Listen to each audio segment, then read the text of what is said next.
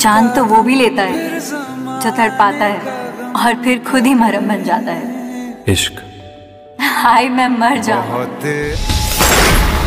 रघु छोड़ दे दीवानगी। ये लड़की भी मरेगी और तू भी मरेगा।